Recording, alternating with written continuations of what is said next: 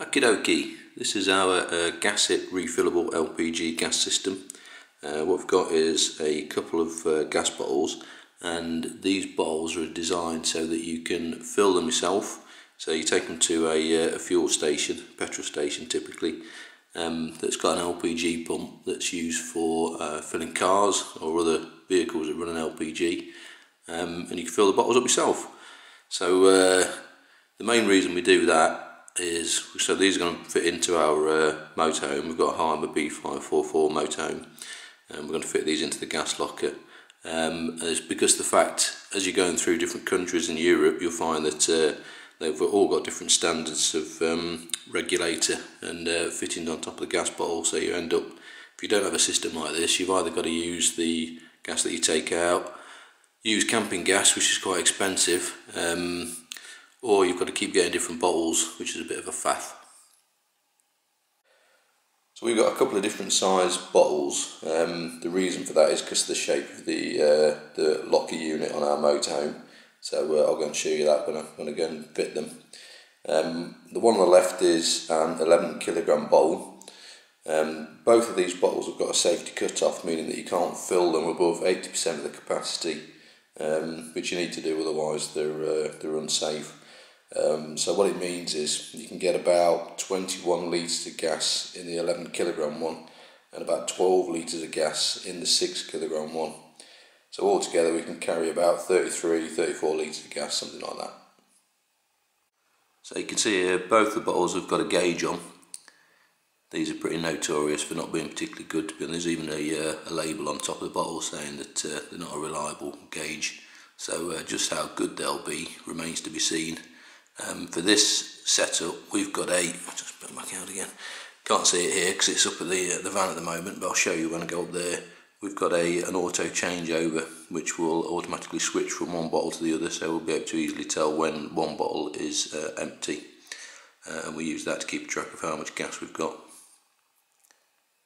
Okay, so moving on to how it's fitted, uh, I should point out that I'm not a gas professional, I'm just a DIY installer, so uh, treat these instructions as such. There's lots of uh, video instructions on the GasIT website.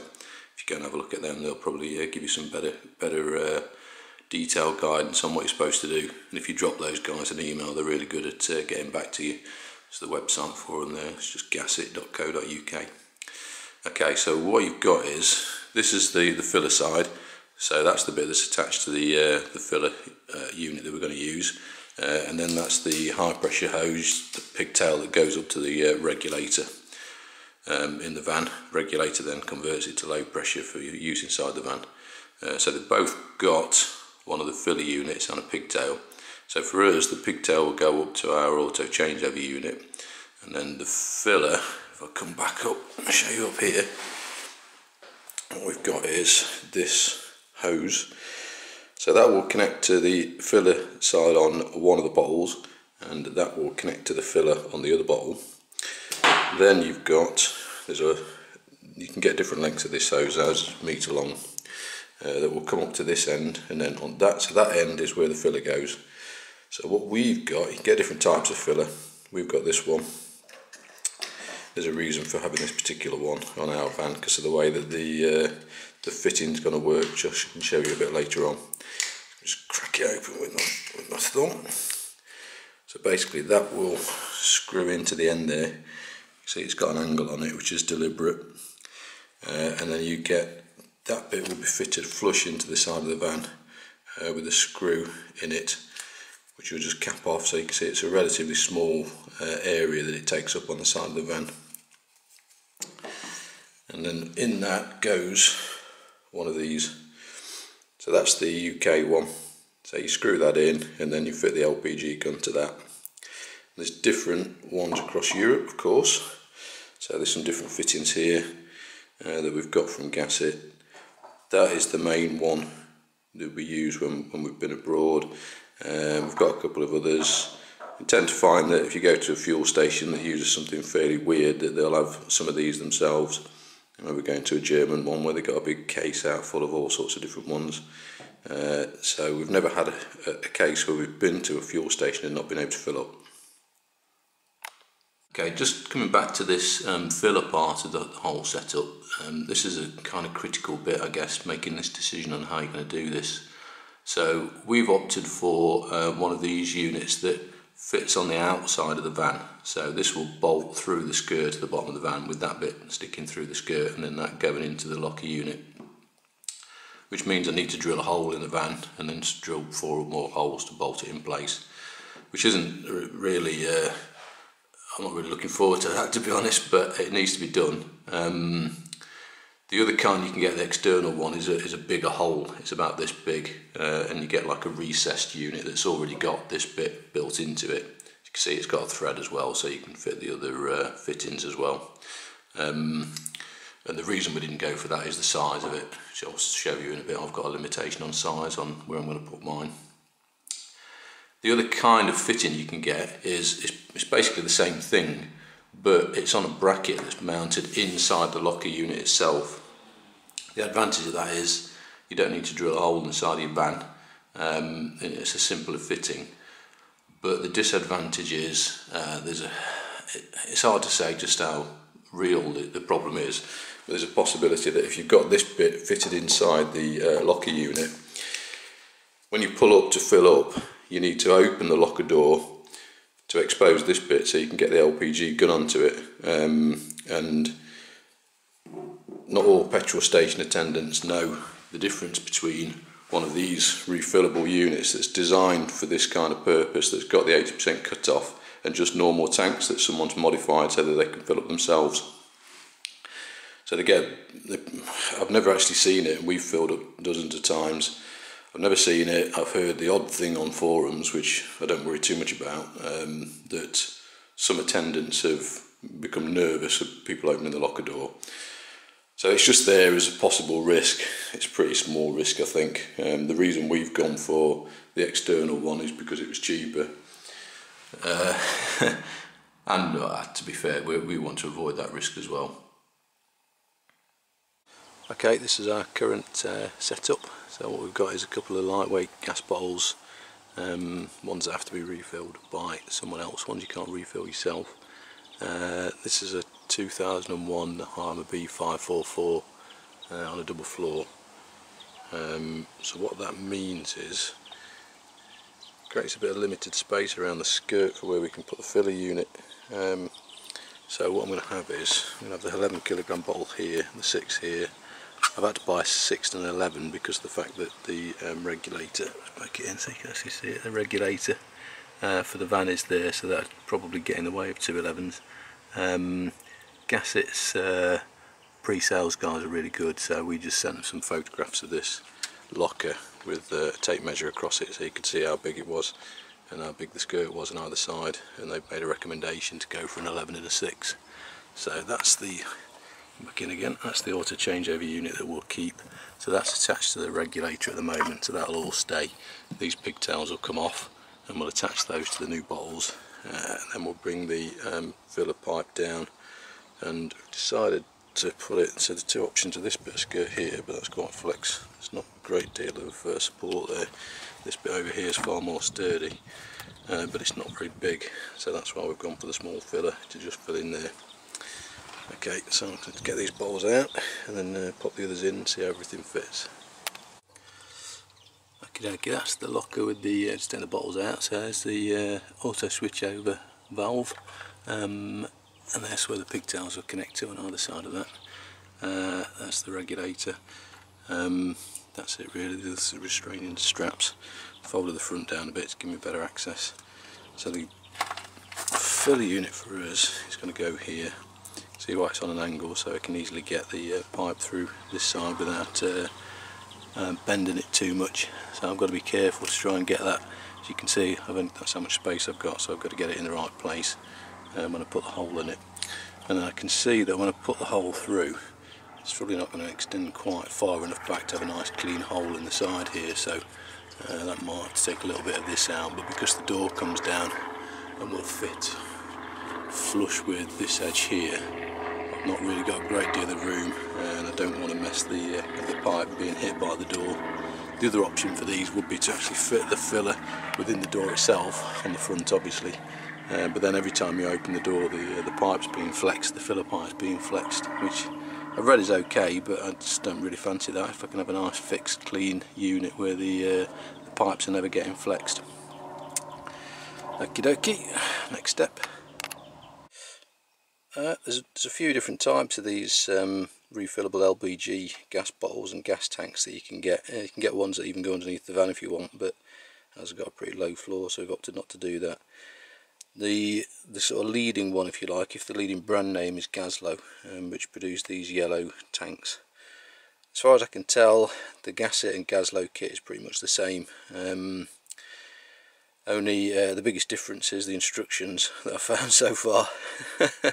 I'm no expert in any of this stuff so I don't really know if the spec of the bottles is different. I know they do braided hoses at Gaslow but then GasIT claim that they're not compliant so who knows.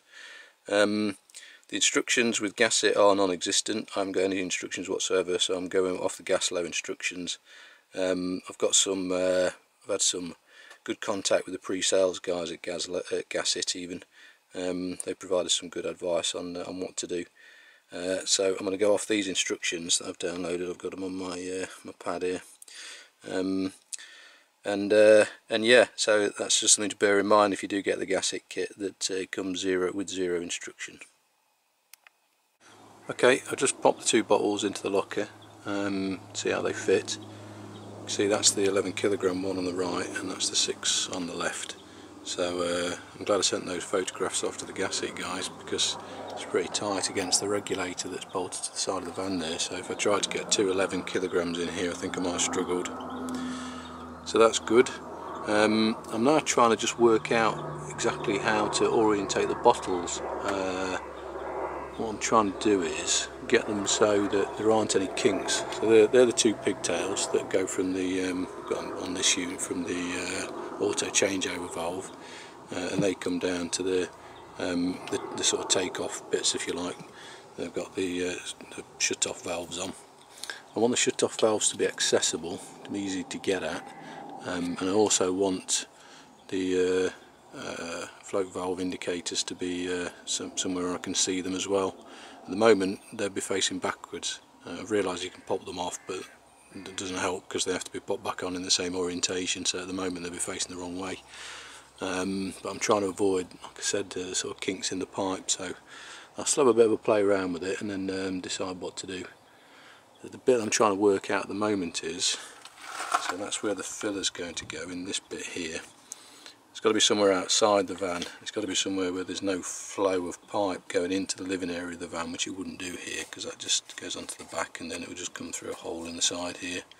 Um, that's fairly sturdy, so that'll take the weight of a, an LPG gun on it and a heavy LPG hose filler unit. I'm just trying to get it so that I can route that through through the wall without uh, it being hit by the door as the door comes down so I'm going to have a bit more of a play with that and then uh, I'll come back. Alright change of plan again. So I've just uh, switched this bottle around so now I can see both of the fillers. I can get at the, uh, the valves on them easily enough. Uh, there's no kinks in the pipes. That one the pigtail flows around up there okay. That one flows around comes, comes around in this and into the side of that one. Front one nice uh, snag free into there and then the filler hose comes down. It's got a nice smooth run and we'll run out through the side down there at the bottom. I've checked that um, this doesn't get touched by when the door comes down the door will come flat with this bit here. Uh, so I've stretched the wire across to check that that won't be touched and it's got a, it's got a good centimetre free. So um, this looks like the final setup. Just got to get the uh, filler cap installed now which I keep putting off so I've got to get on with it okay. So that's the way it's going to go. Uh, I've marked out a bit of tape to show where it's going to fit. Uh, I wanted to avoid the uh, um, this little door catch so it'll come a little bit higher than that come out the top there. I've checked the door and the door actually comes down to here. So all of this space is free because uh, I'm a little bit concerned that it's not going to go far enough back so that I can drill a hole actually in the side. I'm going to have to take a little bit of this supporting stuff out as well. Um, but that won't hit the door so that's fine needs to be I can make a bracket to uh, support it. So all is looking good. Uh, what I'm going to do is I'm going to use the back plate. So that's the bit that it bolts onto from behind. And I'm going to use that to uh, get the positioning of the holes uh, and whereabouts I want the, uh, the centre hole to go. Okay, okay so I'm going to cut the hole for the filler using a hole saw. Uh, check the size of it, so just get underneath and you can see the size of it is good enough diameter for it to fit. How it's going to fit when I've got to bend it around I don't know, we'll find out. Uh, and I've also just tried popping the front of it in like that just so I can make sure that it's not going to uh, cut away too much material that there's nowhere to bolt the, uh, the actual plate in place and if I just tip it forward it looks pretty good looks like it's going to leave plenty so okay time to cut the hole